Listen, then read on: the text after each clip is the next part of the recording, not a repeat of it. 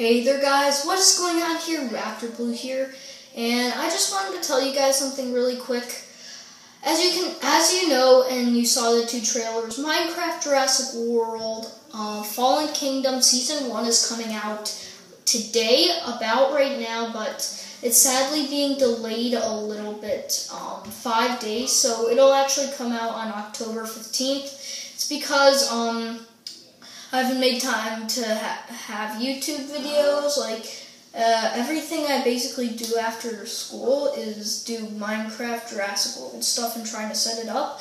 There's a lot going on with it and stuff, so it's sadly going to be delayed a couple days. Um, it's either going to come out on Friday, Saturday, or Sunday.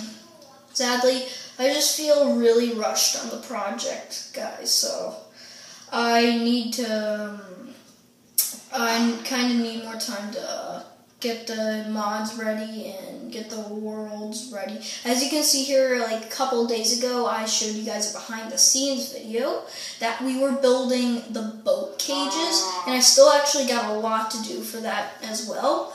And also, I got to work on Lockwood Estate, and I'm done with my Dinosaur Protection Group office and what the island looks like.